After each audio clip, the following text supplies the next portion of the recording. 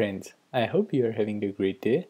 In this video we are going to learn about Webpack's Hot Module Replacement feature also known as HMR or Live Reloading which is also used to do the time travel debugging. I have this React tab with this Webpack config in which entry point points to the router.jsx and output path points to the public asset JavaScript. So when I run the webpack command, it is going to generate a file called app.js inside the asset folder. And when I run the npm start command, which starts the node server, which starts the express server and serves the static file from the public directory. So now when I navigate to this URL, I can see my new React tab. But if I make any changes to any components, Webpack does not create a new bundle and the application does not refresh by itself. So to make some improvements here, I can add a watch command real quick and run the npm start command again. Now you will see it starts the express server. In addition to that, Webpack watches for all my uh, JavaScript files.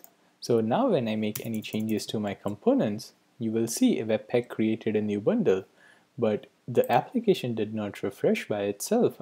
I have to refresh manually to see those changes. Wouldn't it be nice if the application refreshes by itself? Yes, and in fact we can do that. So to achieve that we need to use Webpack's hot module replacement feature and this is a great article which talks about uh, in depth detail how it exactly it works. Uh, the highlight of this article is HMR is an opt-in feature. Uh, you need to use the Webpack dev server for it, which ships by itself. You need to use the compatible loaders, and you should use it only for the development purpose because it adds a lot of code uh, to your uh, project to make it work. And this is one of the best uh, uh, diagram I have found about HMR is that when you do the HMR, some of the highlights of this uh, diagrams are when you do the HMR, it starts two servers, one Webpack dev server and Webpack dev server on the client side. This server runs on your terminal, whereas this server runs on your browser. And you need to use the HMR replacement plugin, which ships with the Webpack dev server. This two servers talks over webs via WebSocket over HTTPS. Uh, my goal is to show you how uh, how to configure the Webpack to use all this. So now if I change branches,